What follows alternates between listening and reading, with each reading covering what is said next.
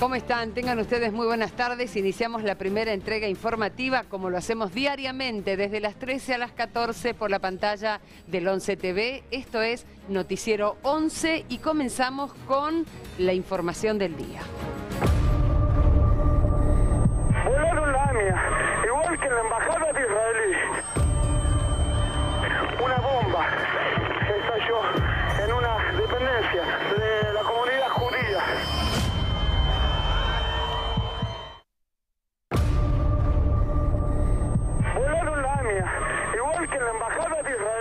esta manera se recuerdan hoy los 30 años del atentado a la Asociación Mutual Israelita Argentinos AMIA, donde murieron 85 personas y hubo más de 300 heridos.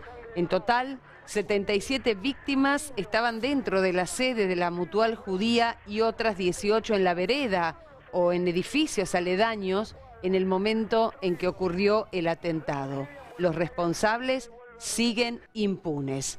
Aunque la comunidad judía de la Argentina es la más numerosa de América Latina y una de las principales del mundo, el atentado fue tomado por la colectividad, por la justicia y los gobiernos como un ataque a toda la sociedad argentina. ¿Cómo se produjo el atentado? Fue un viernes 15 de julio de 1994, tres días antes de la explosión una Traffic blanca fue estacionada en la playa de estacionamiento a tres cuadras de la sede de la Mutual, ubicada en Pasteur 633 e inaugurada en 1945. A las 9.53 exactamente del lunes 18, ese vehículo, cargado con 400 kilos de un explosivo de nitrato de amonio, se estrelló contra el edificio de la calle Pasteur. La explosión produjo un cráter de 6 metros de profundidad y daños materiales por 15 millones de dólares, mientras que la onda expansiva destruyó decenas de propiedades de la cuadra. Hoy, a 30 años del atentado, se realizó un acto que comenzó a las 9.53, que fue la hora exacta en que tuvo lugar el mismo, y fue en la sede de la AMIA. Y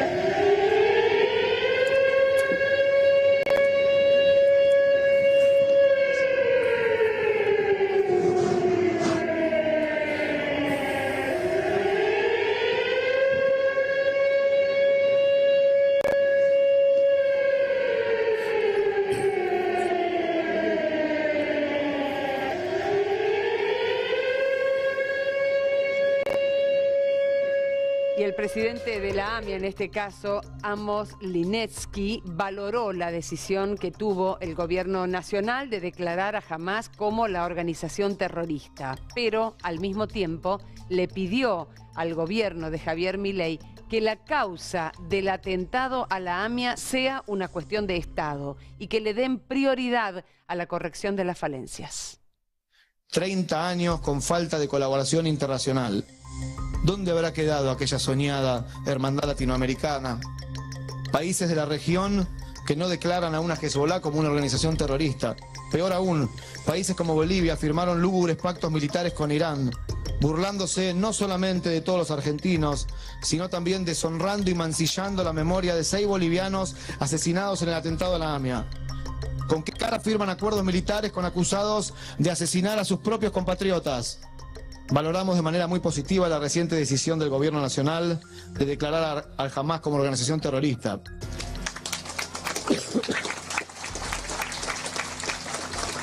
Esperamos que todos los países de la región adopten medidas en este sentido. A los terroristas se los llama terroristas. No hay lugar para eufemismos.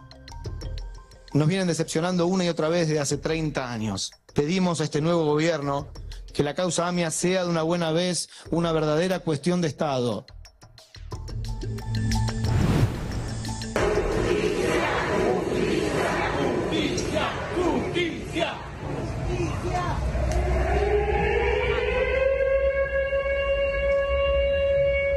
El presidente Javier Milei asistió este jueves junto a su hermana al acto de conmemoración del aniversario número 30 del atentado contra la sede de la AMIA. El mandatario llegó por la mañana a la sede de la entidad de calle Pasteur en el barrio porteño de Once y se ubicó en primera fila frente al edificio. Así lo decidieron pese a reconocer que hubo un pronunciamiento fuerte del régimen iraní con amenazas al presidente argentino a través de un medio iraní. También participaron del acto la vicepresidenta Victoria Villarruel, el jefe de gabinete Guillermo Francos y el jefe de gobierno de la ciudad de Buenos Aires, Jorge Macri.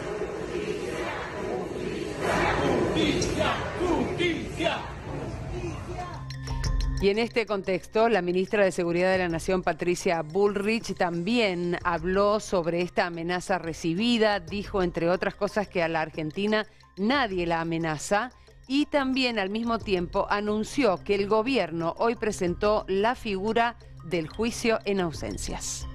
A nosotros no nos amenaza nadie, a la Argentina no la amenaza nadie porque la que fue amenazada, golpeada, eh, fue la Argentina. Y está absolutamente probado que el atentado se organizó desde la Embajada de Irán en la Argentina. Y eso es algo eh, que implica un crimen de lesa humanidad. Y así como implica un crimen de lesa humanidad, hemos llevado al Parlamento un nuevo programa, eh, un nuevo proyecto que es el juicio en ausencia. Nos vamos a buscar hasta el último día de eh, sus vidas. ¿Se han tomado medidas extras para la jornada de hoy? Siempre en un alto así, donde hay presidentes de la nación, hay dos presidentes, además de nuestro presidente, se toman medidas extraordinarias. Para encontrar a los responsables? Hace mucho que están las eh, cartas rojas de Interpol, hace mucho que se los busca eh, y se sabe que son ellos, pero lo que no se ha podido es hacer el juicio, porque además en el medio estuvo eh, el nefasto memorándum con Irán, con lo cual en el medio quisieron eh, darle a los homicidas la posibilidad de juzgarse a sí mismos. Patricia, los familiares cargan con una mochila muy grande que quizás es tratar de darle justicia a los que están vivos, a los que no llegaron a este, a este día. ¿Qué tiene para decir el gobierno? ¿Cree que le va a poder sacarle esa mochila a los familiares? Bueno, la justicia, sabemos quiénes fueron, sabemos cómo lo hicieron. Sabemos quiénes son los responsables, Irán y Hezbollah. Eh, para lograr eh, terminar de juzgarlos, hoy el gobierno presentó una figura nueva que es el en ausencia. Y a modo de cierre de este capítulo en el que hemos, con el que hemos iniciado nuestro informativo de hoy, vamos a saludar, porque estamos en comunicación telefónica con Sebastián Cohen, que es presidente de la DAIA filial Salta. ¿Cómo estás, Sebastián? Buenas tardes, gracias por atendernos. Hola. A ver si estamos en condiciones de establecer esta telefónica con Sebastián Cohen que es el presidente de la DAIA filial Salta y con quien queremos reflexionar un poco sobre este hecho que todavía tiene muchas heridas abiertas y un tema que después de 30 años no fue cerrado, del que hoy se cumple un nuevo aniversario que fue conmemorado en todo el país. Estamos en condiciones, Sebastián, buenas tardes. Bueno, vamos a, a comunicarnos en unos minutos nada más para poder hablar un poquito de este tema, reflexionar sobre lo que ha sido este atentado y conocer la postura del, de quien es titular de la DAIA en Salta acerca de cómo se han desarrollado hasta el momento los hechos, cuál es la impresión que tienen o que se tiene desde la DAIA con respecto a la causa, teniendo en cuenta que la causa en la que se investiga los presuntos responsables e intelectuales del atentado hasta el día de hoy no tienen condena y que recién hoy la ministra de Seguridad de la Nación, Patricia Bullrich, anunció este juicio en ausencia, eh, no con la finalidad de ingresar a temas políticos, pero sí vamos a ver y vamos a tratar de conocer la opinión del referente de la DAIA en Salta.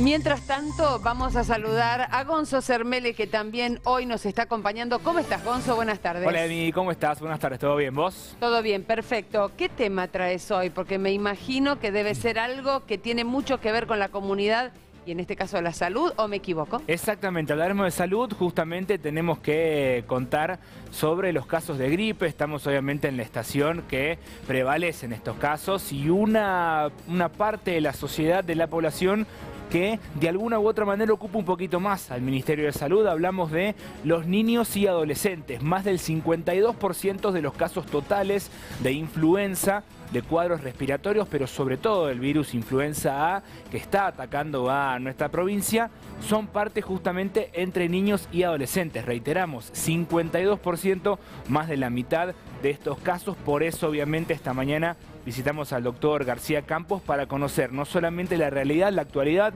de la provincia, sino también saber cómo sigue la vacunación y además cómo prevenir los contagios. Nosotros todavía continuamos con las notificaciones de enfermedad tipo influenza, superando los 16.000 casos desde comienzo de año. Siguen siendo los mismos departamentos que se han notificado en estas últimas seis o siete semanas. El perfil epidemiológico sigue siendo el mismo, los mismos grupos de edad, o sea, no ha variado sustancialmente este patrón de notificación en lo que va del año 2024. Así que las recomendaciones tienen que ser las mismas, tenemos que seguir reforzando todas las medidas de aislamiento, de distanciamiento en personas este, enfermas con infecciones respiratorias o con gripe, enfermedad tipo influenza recordar cómo nos tenemos que manejar en esta etapa post pandemia, ponderando sobre todo lo que es el aislamiento respiratorio en aquellos pacientes este, que tienen la sintomatología respiratoria toser este, con el pliegue, en el pliegue del brazo, este, no toser directamente sobre las manos porque sabemos que eso es lo que va a contaminar el pasamano, el teléfono, el picaporte. Así que bueno, esas recomendaciones en general y fomentar este, la cobertura de vacunación, de vacunación contra la gripe en los grupos de edad, recordar cuáles son los grupos de edad, los niños de mayores de 6 meses hasta 2 años, los mayores de 65 años de edad, las embarazadas y entre el grupo de 2 a 60 24 años, todos aquellos que tengan alguna comorbilidad tienen que vacunarse en el esquema completo, ya que las cepas que componen esta vacuna, dos para influenza A y una para influenza B, son los virus circulantes en este momento que estamos en plenas vacaciones de julio, por eso decíamos que ocupa el Ministerio de Salud este tema, porque la próxima semana ya reinician las clases, la segunda parte del año, y lamentablemente allí también prevalecen los contagios justamente por los chicos que asisten a los establecimientos educativos. Pasamos a otro tema y hablamos también del Hospital Materno Infantil que está llevando adelante una campaña, en este caso están pidiendo donaciones para, para el área de órtesis del hospital. En este caso tiene que ver con aquellos elementos y herramientas utilizadas que se llevan adelante para diversos tratamientos en partes de la vida, etapas que por ahí ya han sido superadas de niños y que obviamente ya pueden ser, ya están en desuso este tipo de eh, elementos. Hablamos obviamente de muletas, andadores, prótesis, sillas de rueda, bastones, entre otros. Lo cierto es que están llevando adelante esta campaña desde el Hospital Materno Infantil. Están solicitando algunas donaciones justamente porque son muchos los niños que lo requieren día a día y además estamos hablando de elementos de alto costo estamos incentivando a las familias que tengan eh, algún familiar con discapacidad o alguna condición de salud que requiera la utilización de ortesis o ayudas técnicas utilizando, eh, ya sea porque el niño creció, porque la condición de salud fue variando o tienen otros requerimientos, a poder acercarlos al hospital para nosotros poder eh, eso dárselos a otras personas, a otros niños eh, que no tienen acceso por falta de cobertura a, estas, a esta posibilidad. Hablamos de elementos que son muy caros y por ahí hay familias que no pueden pagarlo. Eh, sí, en general las ortesis eh, son elementos que son de, de un uso muy importante, ¿sí? para favorecer la postura, para favorecer determinadas eh, movilidades, para facilitar eh, la marcha, ¿sí? y se utilizan en determinados momentos y, es importante que lleguen en esos momentos. Eh, y después hay elementos mucho más caros a los cuales no todo el mundo llega a acceder, sobre todo las, las personas que no tienen cobertura el que está viendo la nota y quiera colaborar, cómo tiene que hacer, quizás tiene algún elemento en casa y puede colaborar. Bien, bueno, estas familias que, tienen o si conocen a, alguien que, tenga alguna, alguna persona con discapacidad y que haya utilizado ya sea férulas, eh, ortesis, eh, andadores, bipedestadores, eh, bastones o sillas de rueda, lo que tiene que hacer es mandar un mensaje al WhatsApp del hospital, que es el 3875 86 31 32, y ahí se va deslizar. Eh, en el cual la opción 7 es la de donaciones de ortesis y prótesis, y prótesis no, perdón, y ayudas técnicas, eh, y eh, ahí le van a pedir que mande fotos, ¿sí? Porque es importante que nosotros podamos ver el elemento para ver si es algo que pueda servirle a otra persona o que podamos hacerle alguna modificación para que lo utilice otra persona, y en ese caso nos volvemos a comunicar para hacer el contacto y hacer la donación. Muy bien, y ahora sí, vamos a establecer la comunicación telefónica que estaba pendiente con Sebastián Cohen, que es presidente de la DAIA Filial Salta. ¿Cómo estás, Sebastián? Buenas tardes, gracias por atendernos. Buenas tardes, Emilce, ¿cómo estás? bien, muy bien. Bueno, básicamente queremos hablar con usted para hacer una suerte de reflexión, ¿no? Después de estos 30 años del atentado, donde, como decíamos, hay muchas heridas que están abiertas, hay cuestiones que quedan pendientes porque hasta el momento el caso no se cerró. Así es, así es, Emilce. La falta de justicia en la causa del atentado a la sede de la AMIA Daya se transformó en la deuda más grande y dolorosa de la democracia argentina. Ya pasaron 30 años de aquel fatídico 18 de julio donde se produjo un atentado contra la comunidad argentina toda. y, la justicia de nuestro país no, no ha estado a la altura eh, del desafío, sí, sí, para nuestra democracia, lo que significó ese ataque. ¿Usted cree que este anuncio que hizo en las últimas horas el gobierno a través de la ministra de Seguridad Patricia Bullrich de juicio en ausencia, esto podría contribuir a esclarecer un poco más qué es lo que pasó? Entendemos que podría ser un avance, este, estamos expectantes también con respecto al anuncio. Y con respecto a los diferentes gobiernos que se sucedieron a lo largo de, estas de estos 30 años sin entrar en cuestiones políticas específicamente, eh, ¿cuál es su eh, interpretación sobre el rol que tuvo el Estado en esta causa? Bueno, eh, como, como siempre decimos, este, estamos convencidos, el Estado argentino debe continuar denunciando en los foros internacionales la sistemática falta de colaboración del gobierno iraní y esperamos que pronto podamos tener justicia para la causa. Durante estos años ha habido avances, retrocesos, está claro quiénes son los perpetradores del, ataque y estamos esperando que se haga justicia por las víctimas. ¿Y por qué cree que todavía no se hizo justicia y ya pasaron 30 años? ¿Dónde está el error? ¿Dónde está la falla? ¿Cuál es el problema? Entiendo yo que depende mucho de la voluntad, eh, depende mucho también de la voluntad política, del interés. Eh, digamos que muchos siguen viendo el atentado como un problema solamente de la comunidad judía y en realidad es, es un problema, ha sido un ataque a la sociedad argentina toda, ¿no? Hay que seguir trabajando para, para buscar justicia, eh, para que, para que se, se sepa qué es lo que pasó y además de eso, sobre todo para honrar la memoria de las víctimas, ¿no? Claro. Eh, Sebastián, ¿usted cree que en estos tiempos que corren la sociedad judía sigue siendo víctima de situaciones discriminatorias? ¿O ha evolucionado en cierto modo eh, la sociedad con respecto a este tema? Eh, la verdad que entendemos que en los últimos meses, después del ataque del 7 de octubre, eh, se recrudeció el antisemitismo a nivel mundial. Estamos viviendo un momento donde el antisemitismo ha reflotado de, la, de la forma más cruenta desde la Segunda Guerra Mundial.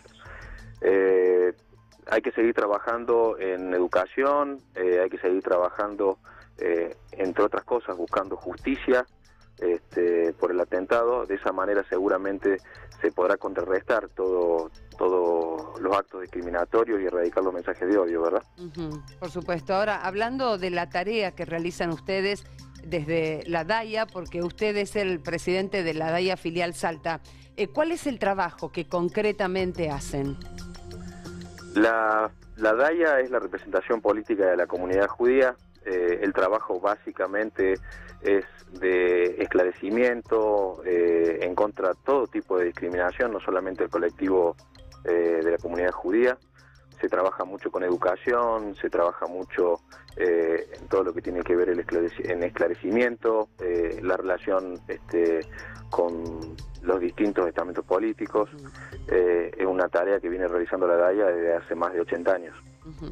¿Y cuál es aproximadamente, bueno, en estos momentos, ¿Cuántas personas componen en Salta la comunidad judía? En la comunidad judía de Salta está compuesta por más de 300 familias. Eh, no somos una comunidad muy grande, sin embargo tenemos varias instituciones importantes. Eh, así que del interior del país no somos de las más grandes, pero sí tenemos una presencia importante. Bueno, Sebastián, yo le agradezco este contacto en este día tan especial en el que se están conmemorando estos 30 años del atentado y esperemos que eh, en una próxima convocatoria, en un próximo diálogo, podemos, eh, podamos conocer otro tipo de informaciones y tener avances en esta cuestión. Esperemos que sí. Eh, los, los actos de terrorismo se siguen produciendo en esta parte del mundo, así que nos obligan a todos como sociedad a seguir trabajando y cooperando para una mayor seguridad y protección de los ciudadanos. La, lucha contra el fanatismo este, gana cada vez más lugar en la sociedad, así que la lucha, perdón, eh, en contra del fanatismo debe ganar más lugar en nuestra sociedad y nos debe convocar a todos para una condena sin fisuras a quienes buscan socavarla. ¿no? Perfecto, muchísimas gracias por su tiempo, a Sebastián Cohen. Por favor. Hasta cualquier momento. Hay cuatro.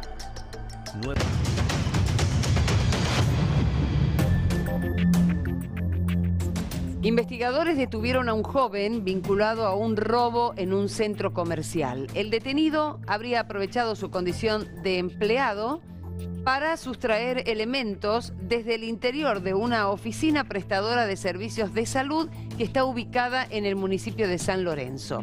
La policía logró recuperar más de 2 millones de pesos, un teléfono y también otros elementos. Esta investigación se inició a raíz de una denuncia por parte de la encargada de una empresa prestadora de servicios de medicina que está ubicada precisamente en el centro comercial de San Lorenzo, donde se daba cuenta de la sustracción de dinero y otros bienes. El joven detenido tiene 18 años y quedó a disposición de la justicia. Por otro lado, por el crimen de Leonardo Álvarez, conocido como el Don Ramón Salteño, fue detenido un joven de 26 años. El atacante había sido internado, recordemos, en el Hospital San Bernardo y después de recibir atención médica fue dado de alta ayer, después de las 19.30, e inmediatamente fue detenido por el delito de homicidio simple. Este suceso tuvo lugar la madrugada de ayer, aproximadamente a las 4.50, en el corredor Balcarce. Testigos presenciales relataron que se produjo un violento enfrentamiento entre Álvarez y su agresor, culminando en la muerte del hombre que estaba en situación de calle. Sí. Hablamos ahora de un siniestro vial que está siendo investigado por el fiscal penal de Rosario de la Frontera y que ocurrió en la ruta 9. Es un siniestro que se dio a la altura de la estación IPF Futuro.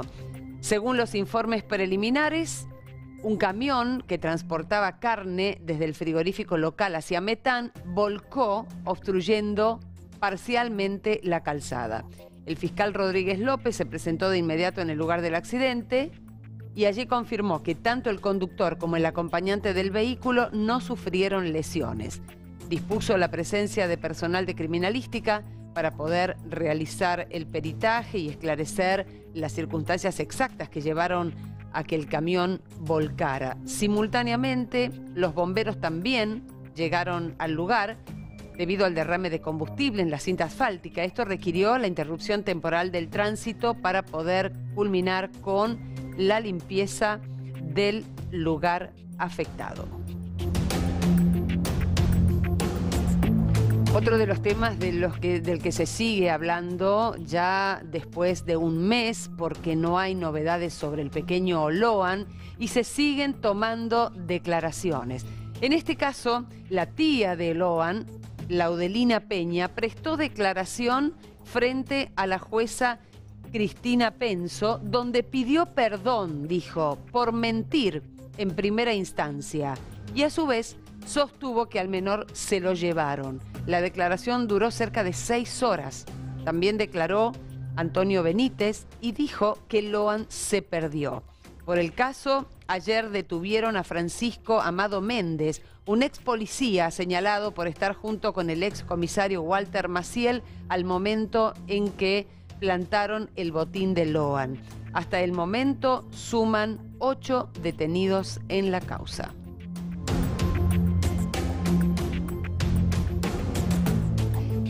Y en otro orden de cosas decimos que eh, comenzamos a transitar una época crítica, una época difícil, si se quiere, para eh, los incendios de pastizales. Y es por eso que desde Defensa Civil ya comunicaron que la temporada de incendios inicia a partir de la primera helada del año, la cual se registró, recordemos, a fines de mayo y con eso comienzan las alertas. En el noroeste argentino esto suele comenzar poco antes de julio y finalizar acercándose diciembre, que es cuando recién comienzan las primeras lluvias, pero este año se adelantó. Por ese motivo, sugieren a los ciudadanos tomar precauciones para evitar incendios. Efectivamente ya entramos de lleno a lo que es la temporada de incendios forestales y estamos armando un trabajo conjunto, interdisciplinario, para bueno, afrontar esta temporada de la mejor manera. Justamente ahora estamos terminando una reunión con la Federación de Bomberos Voluntarios de toda la provincia, con referentes. Hemos, nos hemos reunido con la Secretaría de Ambiente, con Manejo del Fuego, para alargar la temporada y tener una estadística muy baja.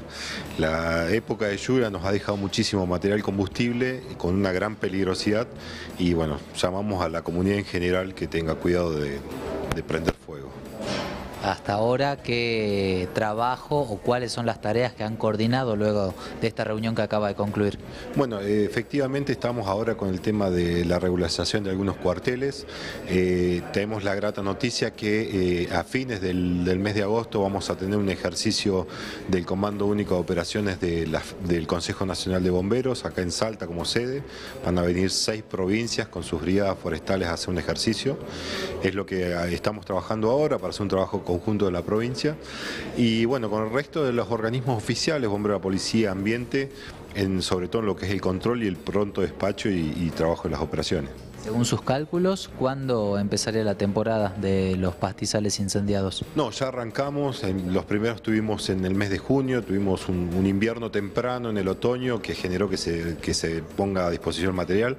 Recordemos que las primeras heladas eh, inician nuestro, nuestra temporada forestal y las primeras lluvias le dan, dan por finalizado. Así que tenemos todavía una larga, un largo camino estos meses, se espera que el mes de septiembre, octubre sean los más complicados. Eh, pero bueno, hay que trabajar en la prevención sobre todo, ¿no?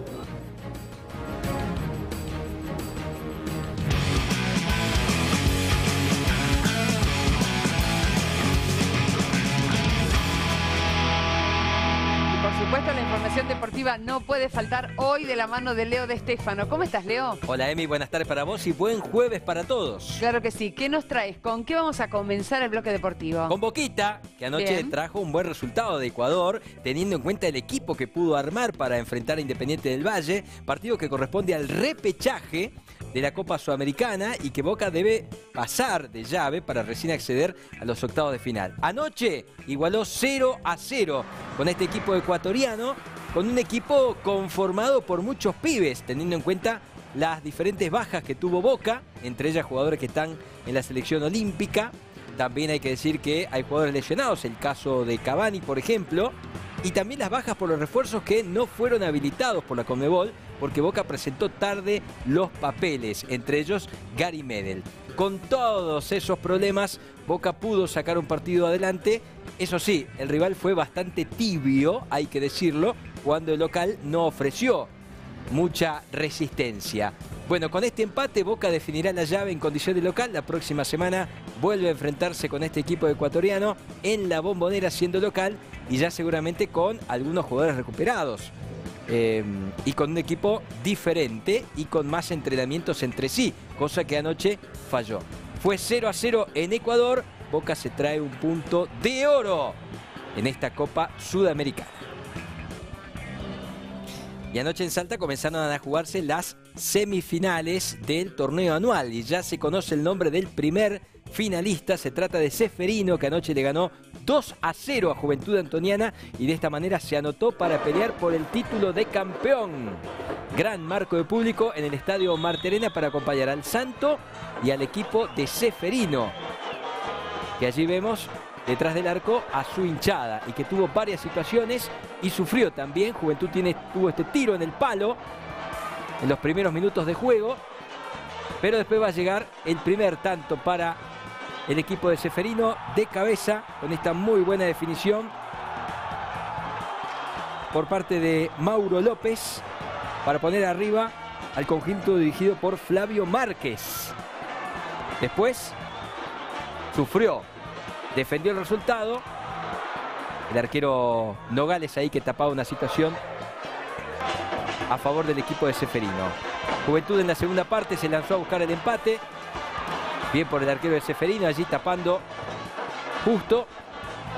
Otra chance más para el equipo antoniano que es dirigido por Pablo Muratore en el torneo anual, pero que no tuvo precisión a la hora del último pase.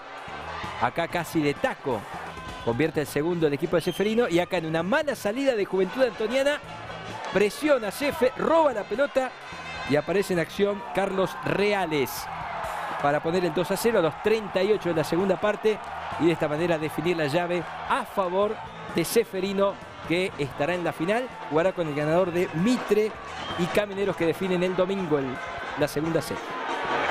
Es un, un sueño que, que anhelamos del principio. La verdad, cuando, cuando se armó el grupo, decidimos dejar todo, eh, el cuerpo técnico, los dirigentes, la hinchada, los jugadores. La verdad, dejamos muchas cosas de lado para poder llegar a cumplir este objetivo que, por más que no crean, nosotros queríamos esto, anhelábamos esto, sabíamos que nos queríamos preparar para esto y es un sacrificio de verdaderamente de todo, desde el primero hasta el último y es hora de disfrutar. Creo que venimos fomentando que los chicos del club, los chicos de Seferino, intenten mentalizarse para que se lo tomen de la manera más profesional posible, porque yo creo que todo arranca de la cabeza. Yo creo que el jugador es profesional si se mentaliza. Entonces, nosotros como un grupo experimentado intentamos enfocar eso a los chicos por ahí que recién están conociendo lo que es la liga anual. De mi parte también es el primer año que yo vengo a jugar acá, yo soy jugador del Valle eh, y la verdad que es una experiencia inolvidable para mí y más llegar a una instancia como esta, eh, yo creo que se ve el fruto del sacrificio y de todos los chicos. Sí, ojalá la verdad se le den las cosas a los muchachos, a la hinchada, a los dirigentes, porque el primer día nos demostraron el acompañamiento, de la primera fecha, es impresionante el público que mueve, cómo nos apoyan. La verdad que se sintió que, que queríamos esto. Eh, el primer día se formó el cuerpo técnico, la dirigencia, la misma hinchada, eh, yo creo que, que se ve el fruto de todos, del granito de arena que pusieron todos, se ve plasmado el fruto. Bueno, reiteramos, Seferino va a jugar con el ganador de Mitre y Argentinos del Norte y van a jugar la semifinal el domingo en la cancha de la Liga Salteña. Y ahora hablamos de la Copa Salta porque mañana viernes serán las finales, tanto femenina como masculina. Eh, todo se va a desarrollar en el estadio Padre Marterena. Será sede entonces la cancha principal de estos dos encuentros que van a definir los campeones de la temporada 2024 de esta Copa, donde participaron equipos de toda la provincia. En primer turno, a partir de las 8 de la noche, se jugará la final femenina entre Juventud Antoniana y Atlético Chicuana. Chicuana es el vigente campeón en la rama femenina, defiende el título. Mientras que a continuación, 21 a 30, se jugará la final masculina entre Aviación de Orán y Esportivo Positos de Salvador Massa. Así que es un plan, para los que les gusta el fútbol, bastante tentador. Mañana llegarse al Estadio Marte Arena y presenciar las finales femenina y masculina de la Copa Santa. ¿A qué hora es el encuentro de los partidos? A las 8 de la noche Ajá. arranca la final femenina y a continuación, más o menos 9 y media de la noche, la final masculina y después se hará la entrega de premios a los campeones. Perfecto. Muchísimas gracias, Leo. La seguimos a la noche. La seguimos a la noche Ahí. con José. Ahora hacemos la pausa, la primera. Ya volvemos en unos minutitos. Este 20 de julio en Paseo Libertad Salta festejamos la amistad. Te esperamos de 19 a 22 con música en vivo, premios instantáneos y degustaciones de comida asiática. Festeja en Paseo Libertad Salta.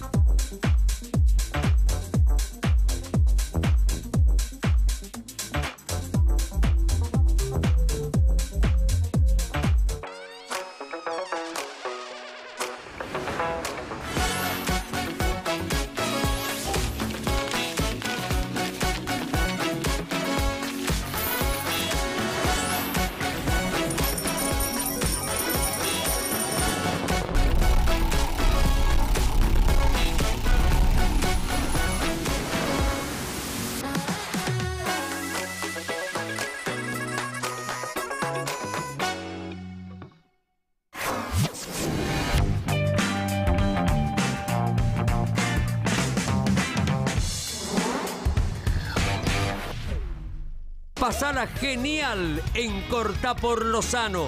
Te espero para vivir una tarde llena de emociones. Hoy, corta por Lozano.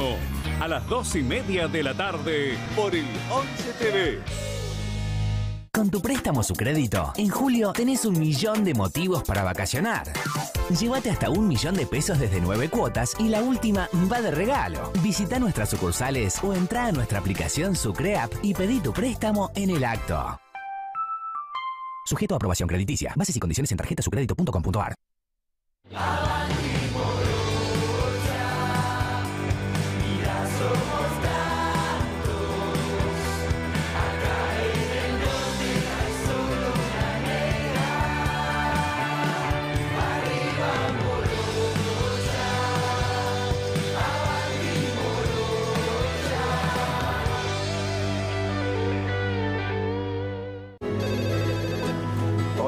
Hola. Sí. ¿Se encuentra Héctor? Sí, ¿de parte de quién? Lionel Scaloni. ¡Calún! Hola. Te estuvimos siguiendo. Y tu compromiso con el grupo es espectacular. Héctor, Argentina te necesita. Hola. Yo sabía que podía encontrarte hasta ahora. Tu dedicación es clave para la formación de los pibes. ¿Contamos con vos?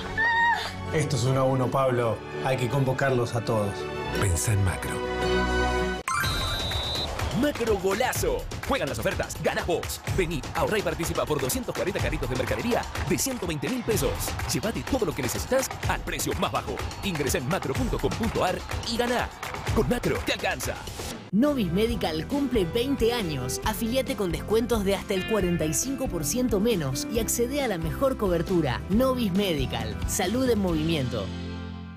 Volvieron los increíbles precios comodísimos para ahorrar todos los días. En la Virginia por 25 saquitos, 599 pesos con 99 centavos. Cacao Toddy por 180 gramos, 749 pesos con 99 centavos. Compra online en comodinencasa.com.ar y recibí tu pedido en el día.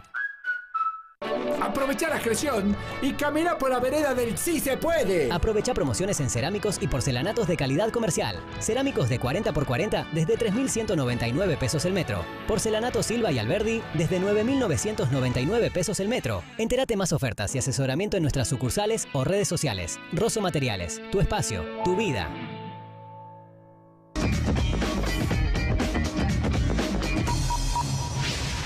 Del miércoles 17 al jueves 18 de julio en Jumbo, aprovecha hablando de ofertas surtido de paleta al kilo a 6.399 pesos, milanesa de bola de lomo cuadrada al kilo a 6.999 pesos. Esta y otras ofertas más, encontrarlas en jumbo.com.ar. Jumbo, te da más.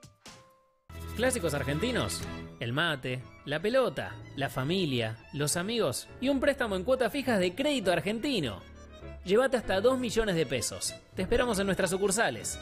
Crédito argentino, tan argentino como vos. Feria de descuentos y cuotas en Easy. Del 17 al 21 de julio disfruta de hasta un 30% en termotanques y calefones y hasta un 15% en automotor, más 10% exclusivo para socios de Club Easy. Además, podés pagar en 6 cuotas sin interés. Easy. Black 70 en Somier Center. Aprovecha hasta 18 cuotas sin interés. 70% off en colchones y somiers. 2 por 1 en almohadas y envíos a todo el país.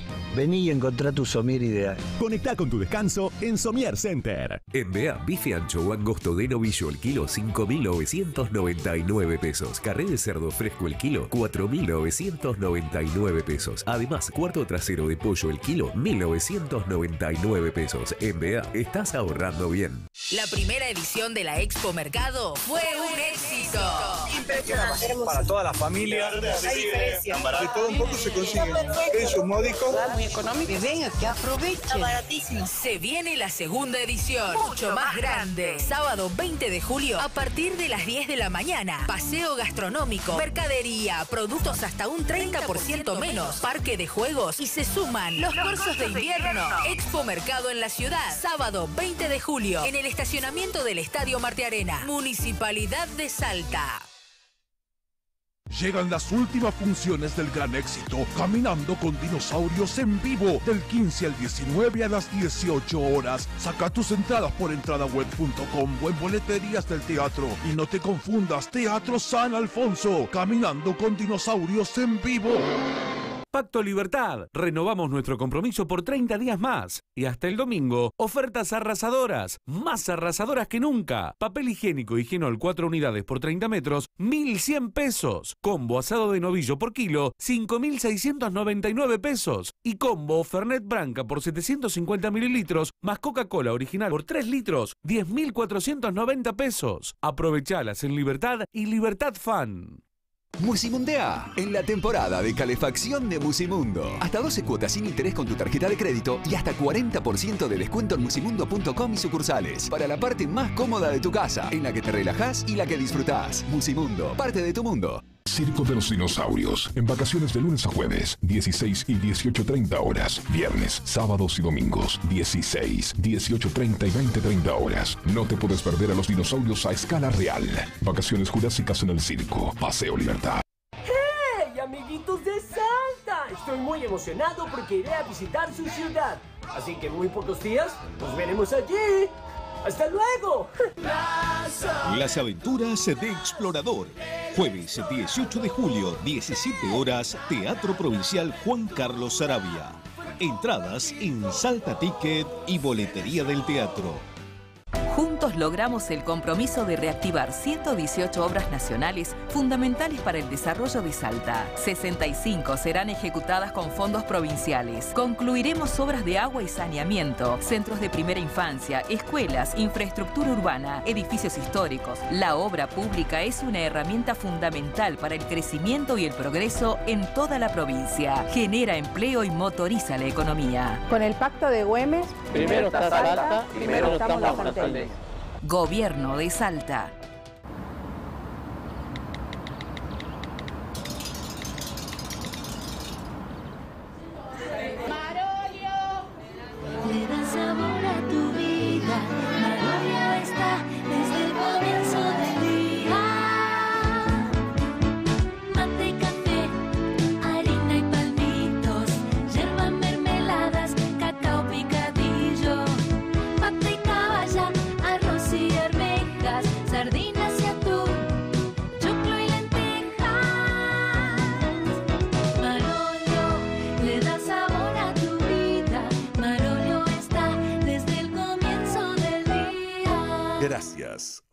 Marolio. Todo lo que vivís durante el día llega a cada parte de tu casa. Los virus y bacterias también. El nuevo Sif Aerosol Desinfectante, con tecnología bioactive y fragancia biodegradable, elimina el 99,9% de virus y bacterias. Sif, la marca número uno en limpieza, ahora también desinfecta. A mí lo único que me funciona es Agarol. Soy de las que cayó del lado de no poder ir al baño. Lo acepté y punto. Me convertí en una probadora de productos. Probé todas las marcas de laxantes. La única que me funcionó es Agarol. No me preguntes qué tienes, pero siempre puntual. Nunca tuve que salir corriendo al baño. La ves así y no puedes creer que esta capsulita tenga tanto poder y haga tan bien. Unidosis en cápsulas blandas para un alivio controlado. Agarol Gel Caps. Córdoba con sus mejores productos. Miel, batatas, queso azul y muchísimo más. Los espero. Este viernes, Tierras, a las 11 y 45 de la noche, por El 11 TV.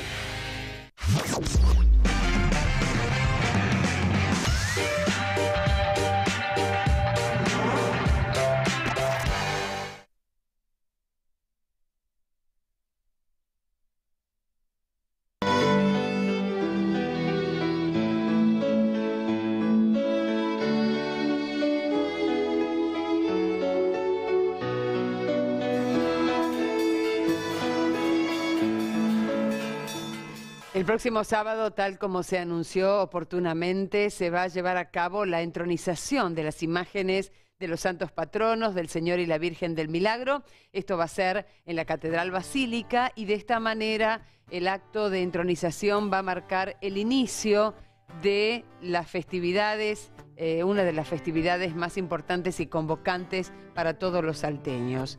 Este acontecimiento no solamente tiene un profundo significado religioso, sino también representa un momento de encuentro y unidad para los salteños que participan activamente de todas las, eh, las actividades programadas en torno a la festividad. La catedral se convierte a partir de ahora en el epicentro de la celebración, recibiendo a miles de fieles que se acercan a rendir homenaje a las veneradas imágenes. La entronización es una invitación abierta a todas las personas que quieran sumarse, renovando sus compromisos espirituales y celebrando juntos la presencia de estas sagradas figuras en la vida de los salteños.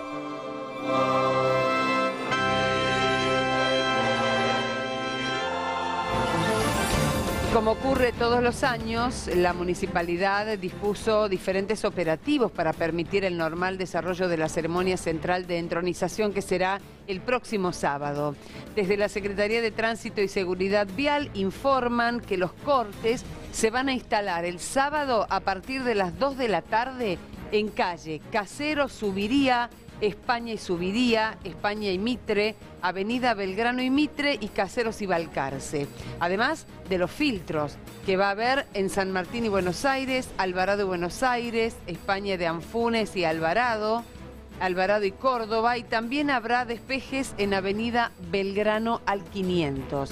Se hace una recomendación muy especial a quienes tengan que circular por los distintos sectores señalados para reducir la velocidad, para estar atentos a las indicaciones del personal uniformado y utilizar las vías alternativas para un mejor desplazamiento del tránsito en general.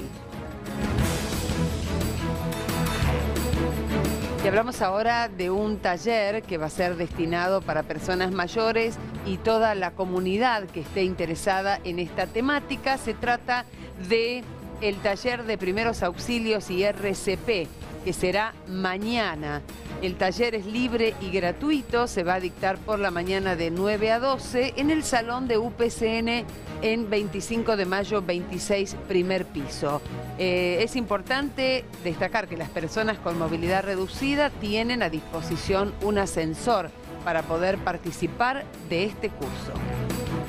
Este viernes la Secretaría de las Personas Mayores en conjunto con el SAMEC brindan un hermoso taller de primeros auxilios y resucitación cardiopulmonar. Herramientas fundamentales para cuando estás como responsable de grupos de personas o al cuidado de una persona mayor.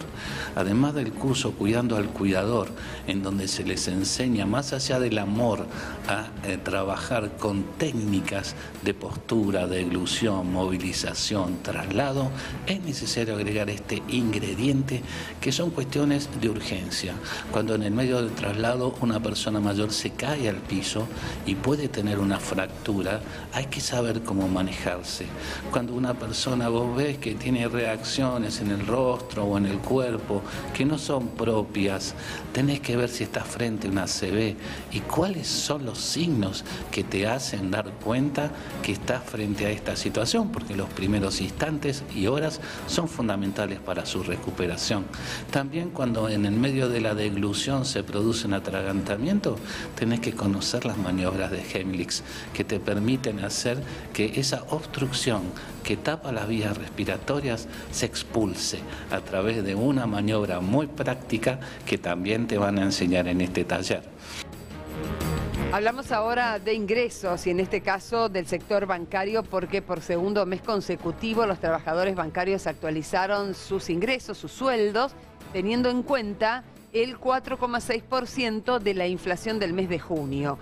Asimismo acordaron un plus para recuperar los puntos perdidos durante el año. Según informó la bancaria, con el aumento salarial el básico llegó a 1.400.000. Lo que hace al sueldo del mes de, de junio viene con un aumento más el retroactivo de enero a mayo, lo que pondría un básico de 1.393, 1.400 pesos y de ahí con todas las categorías según los coeficientes de convenio colectivo. Y 1.400.000 sería. 1.400.000 de básico. Eh, esto es acompañar a pesar de que se puede pensar que es un buen básico, o nosotros tenemos que tener hoy en realidad este, la concepción de que hay un gobierno que no acompaña los salarios de los trabajadores, ha aumentado la precariedad, ha aumentado los sectores de pobreza, ha aumentado los sectores de indigencia y han quedado muchos trabajadores en la calle. Y como bancario este, ya veníamos con problemas y bueno, la posición del compañero Palazzo con el apoyo de todas las seccionales evitó la privatización del Banco Nación tal como lo quería el presidente de la Nación.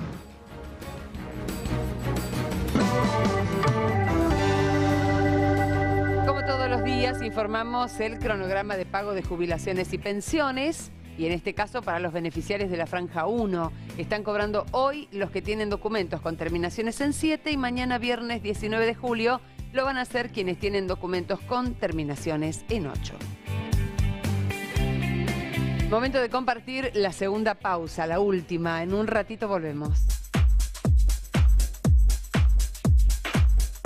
De paseo en vacaciones de invierno, la diversión está asegurada. En Paseo Libertad nos preparamos para recibir a toda la familia con una gran variedad de juegos y actividades gratuitas. Hasta el 21 de julio podés disfrutar de juegos didácticos, metegol, pintacaritas, pool fútbol, premios y muchísimas sorpresas más. Te esperamos en Paseo Libertad.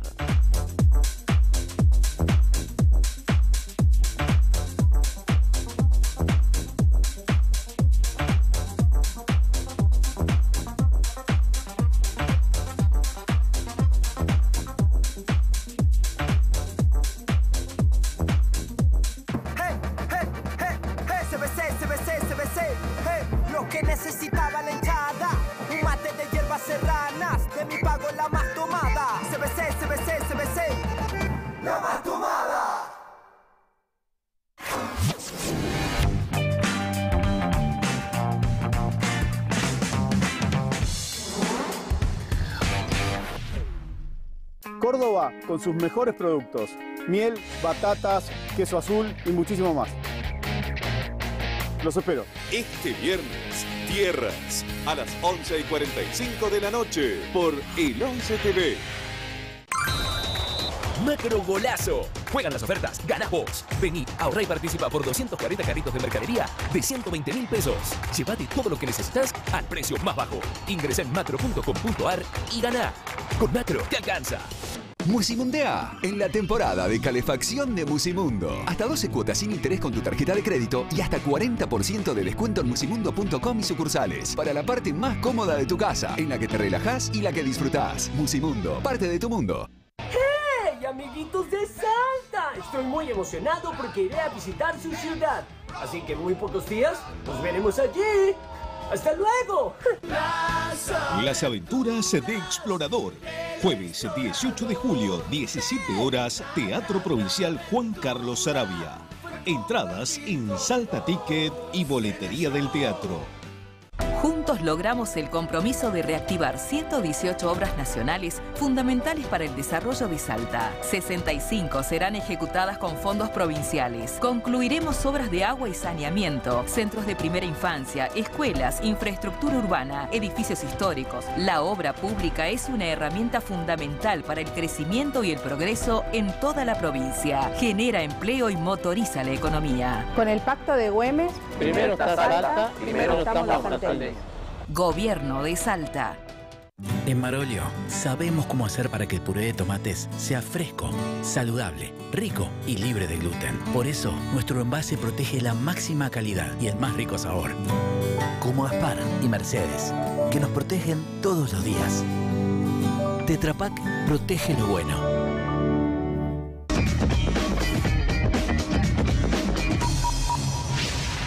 Nuevo 13M Brillo Lamelar.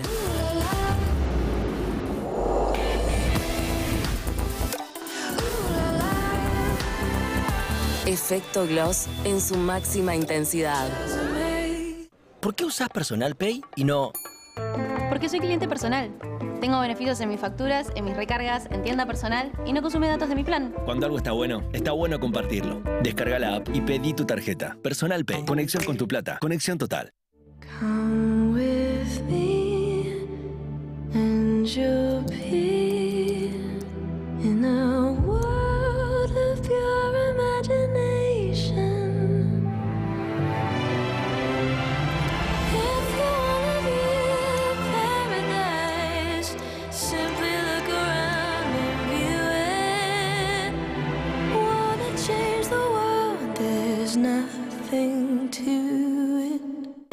Ocultar la verdad no será fácil. Lila, querida, ¿por qué ya no me llamas? Me imagino que todavía no saben. Khalid ah, tiene una nueva estrella, una mesera con la que no puede vivir, Gildis. ¿En dónde estás, Zeynep? Mira la hora que es. Eh, bueno, Gildis, estamos en un lugar cerca de Sile. La carretera está bloqueada, así que no podré llegar. Gildis, ella era mi novia. Estuvimos juntos un tiempo. Mira, ella no es de fiar. Es una casa fortunas. Hoy, Pasión Prohibida, a las 4 y media de la tarde, por el 11 TV. En Salta contamos con modernos centros de diálisis. En Capital, Hospitales Doctor Arturo Oñatibia y Materno Infantil. En Orán, Centro Modular Sanitario. En Tartagal, Hospital Juan Domingo Perón. En Cafayate, Hospital Nuestra Señora del Rosario. Y próximamente en el Hospital Doctor Oscar Costas de Joaquín B. González. Brindamos atención de complejidad a pacientes sin obra social en su lugar de residencia. Juntos estamos federalizando la salud pública en toda la provincia. La salud es nuestra prioridad. Gobierno de Salta.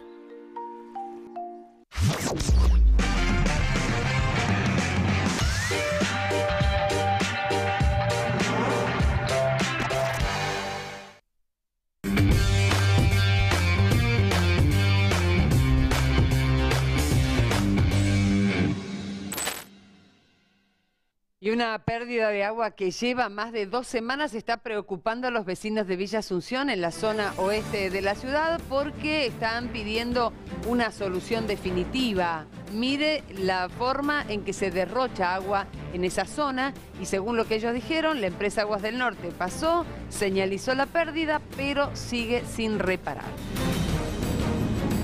¿Hace cuánto que está la pérdida esa? Uh, ya hace dos, vale, dos semanas, che. ¿Dos semanas ya? Sí. Mira. Y ese de agua, no lo arregla todavía, yo no sé qué habrá hecho. porque nos pidieron, los vecinos nos habían dicho que hace meses ya que está. ¿Vos pasás habitualmente por acá? Sí, no, estaba allá, pérdida. Después a, a roto los, las máquinas, pasan las máquinas acá por. Ah. Y ese acá por la roto. ¿La máquina de qué pasó por acá? La, el parejo el terreno, la calle. La que empareja con un poco el ripio. Sí. Bien. ¿Y agua del norte? ¿Viste por acá si vinieron los operarios? No, nadie, che. No, no, nadie, nadie. Sí, al frente tenemos una pérdida hace un par de semanas ya que está perdiendo mucha agua. ¿Y cómo hacen la feria los fines de semana? En esa parte no se, no se ponen, ¿no? No se ponen eh, hasta acá pasando la pasarela y un poquito más allá directamente, pero hace dos semanas más o menos una pérdida, todo día y noche pierde agua. Y agua potable encima está. Potable, sí, cantidad de agua. ¿Vieron a la gente de Agua del Norte? ¿Se acercó por acá? Eh, creo que ayer estaban, sí, ayer o anteayer creo que lo vi cuando salí a trabajar, creo que ahí estaban. ¿Estaban los operarios trabajando o vinieron a observar según lo que pudiste? Vinieron a observar y se, vol- se volvieron ahí. Ah, no hicieron ningún trabajo. No, no, no vi porque después cuando volví de trabajar ya no lo vi a ninguno. ya. Porque ahí vemos que trataron de hacer como una intervención, parece que cambió un poco, pero igual quedó el barro y el agua ahí. Sí, sí, fue, parece que vinieron a ver y después se fueron y después supuestamente yo pensé que iban a volver al rato, pero no lo volví a ver, no. ¿Y ahora eso le genera algún perjuicio a ustedes en el domicilio? ¿Tienen baja presión o no los perjudica? Mira, yo estoy normal. Ah, normal. Normal, normal, normal, así que no sé la otra